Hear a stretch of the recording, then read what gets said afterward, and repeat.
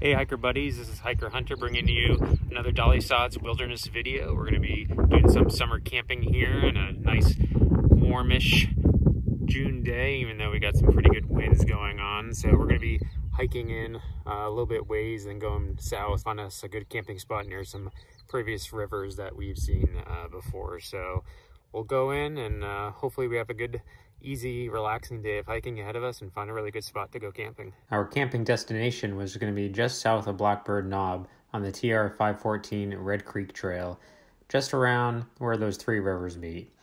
We had been there previously on a hike and really thought it had really good water sources, really spectacular views, and really nice campgrounds, nice and flat, lots of space, and good supplies nearby. So we're really wanting to come back on a future trip.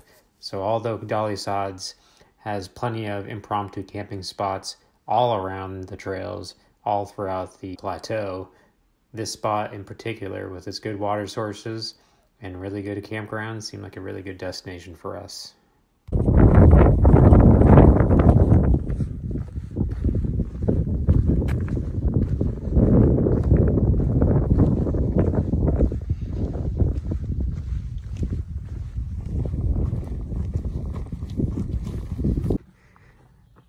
Our first spin off of the day, Grade Trail 526 on our way to our campsite. Typical Dolly sods, hard to follow the trail here, not very well marked, and surprise, surprise, lots of uh, soddy swamp. So just be prepared to get your feet wet and muddy. Right across the lake here, we see we're heading in the right direction. 520, head straight out to the road, so we want to continue here on 526 onward to the campground. Just some truly unmatched scenery here at Dolly Sods.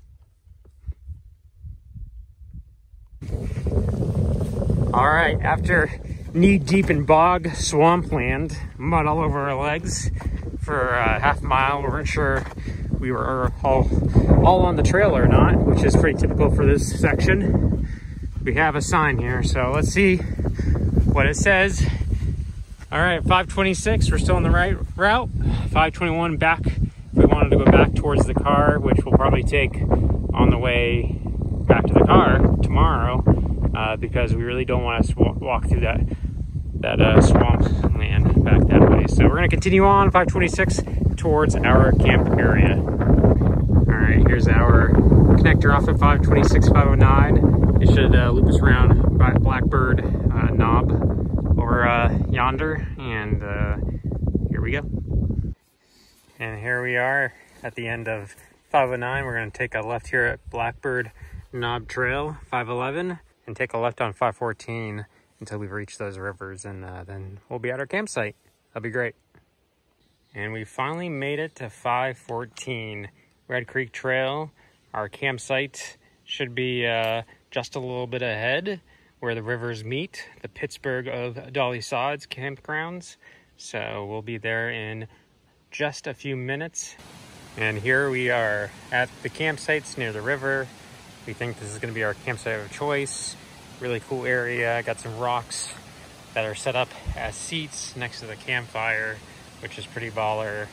Uh, nice flat area right near the trail, a little close to the trail, but is what it is. And the river is right down here, which is easy access for washing, cleaning up, getting water, filtering water. So pretty happy about this area. We're gonna set up our tents here and uh, yeah, start enjoying the evening.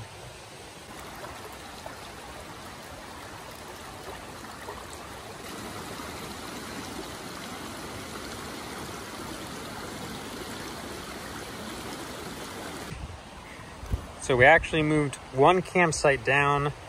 While it doesn't have the stone seats, that's okay. We have our collapsible seats that we brought with us. Reason is a little bit easier to get to the water here, a little bit less climbing over rocks. So very happy about this. Nice, fine river right there. Gonna have a good old time, but you can see lots of campsites all around us and we'll, we'll see if we have some company tonight. This area usually gets pretty full. Already got a couple folks down, just uh, a few little bit campsites down. And uh, we passed some people that said that they were gonna be spending the night tonight here. So should be a merry old time. We'll see, uh, but we got, should have some nice privacy still with some of these trees. Nice, really fine campsite area. Couldn't ask for anything better. Cleaning off of the mud from all that sod we went through from earlier. And I got my nice yellow water for some cooking and drinking tonight. Plenty of opportunity to refill. Gonna be a great night.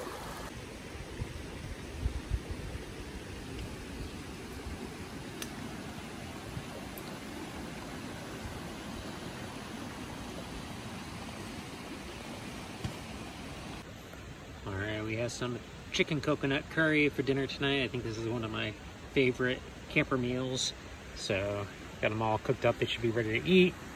We got a little kindling that we found. We didn't cut anything down. We just found some wood that other people previously had cut down. So we might have a little fire here.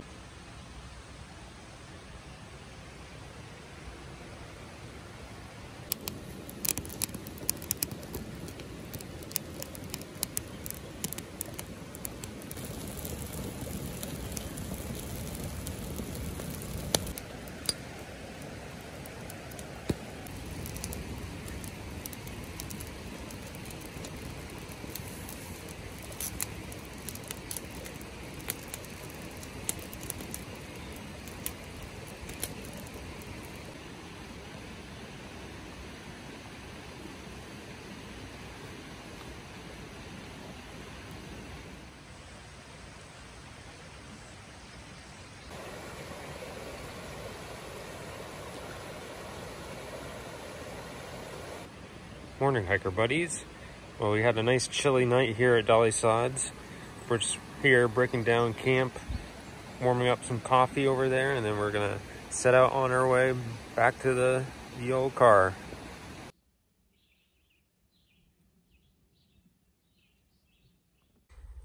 Well, we finally made it to 521. So even though 526 that way is a more direct route to our vehicle, we prefer not to do knee deep in swamp today. So we're gonna see how 521 is. Hopefully it's a little bit drier. I'm sure it'll still be muddy, but hopefully not knee deep muddy. And uh, yeah, see how it is for this nice morning hike back to the car.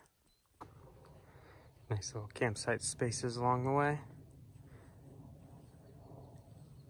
And way up yonder, looks like there's a trail marker. So hopefully that's our stop to take a right and we'll see what it says. So it looks like we uh, overshot our trail a little bit. We saw a post just a quarter mile, not even back, that missing a sign. So we're guessing that's the trail we want. So we are gonna head back. But so far, trail's not so bad. And we're gonna say, hopefully, goodbye to 521 for the day and continue on to 522.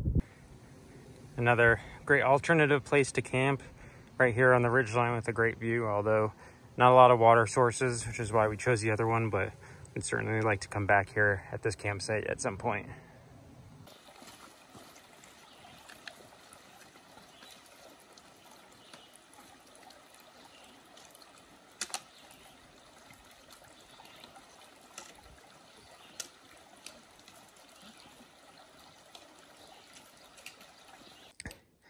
Yeah, coming back 521 versus 526 was definitely the right play.